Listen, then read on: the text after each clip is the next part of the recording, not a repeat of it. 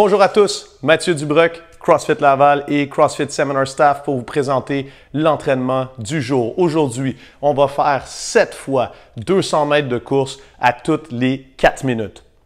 Quand on voit un entraînement comme ça, il faut tout de suite penser au mindset dans lequel il va falloir se mettre pour euh, compléter l'entraînement. C'est exactement la même chose que si on voyait une journée lourde parce que l'objectif, ça va être de se donner à 100% de notre puissance maximale pendant environ 30 secondes à toutes les 4 minutes et ça 7 fois. Très similaire de si on avait fait un 7 fois 3 back squat par exemple. Donc, de la même façon que si on se préparait à faire un 7 x 3 back squat, il va falloir faire une montée de gamme en puissance pour notre course.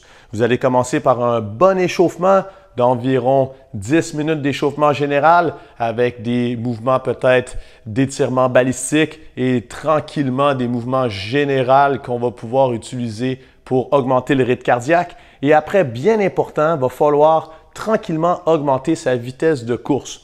Donc, on va vous demander de faire 3 à 4 montées de gamme en intensité sur une distance de 200 à 100 mètres. Exemple, les deux premières fois, vous pourriez courir un 200 mètres et vous y allez à environ 60, puis 70% de votre max. Après, on descend la distance à 100 mètres, on augmente l'intensité pour y aller autour de 80, même 90% pour le dernier test, ce qui va nous permettre de savoir sur un 100 mètres à 90% combien de temps ça nous prend. Et on va pouvoir juger si la, distance de 200 mètres est adéquate. En effet, si ça nous prend beaucoup plus que 15 secondes pour faire notre 100 mètres à 90% de notre vitesse, on devrait réduire la distance du 200 mètres et y aller peut-être pour un 150 mètres, un 175 mètres, un 125 mètres, peu importe, une distance qui vous permettrait de rester autour de 30 secondes par sprint.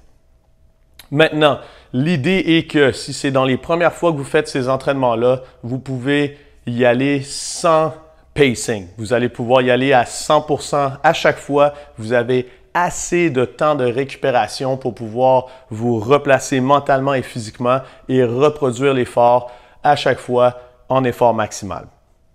N'oubliez pas d'avoir du fun. C'est le genre de workout qui va vous challenger si jamais vous n'avez pas la capacité physique à cause d'une blessure de y aller à 100% sur la course, on va vous demander de privilégier une machine du bas du corps. Exemple comme le vélo, potentiellement le air bike et on pourrait en dernier lieu y aller sur le rameur. Et on va faire le même principe, quelque chose qui va vous prendre 30 secondes quand on y va très proche de son 90% et même plus. Par exemple, en vélo, ça pourrait être 500 mètres pour les hommes, 400 mètres pour les femmes. Ayez du fun, bon entraînement.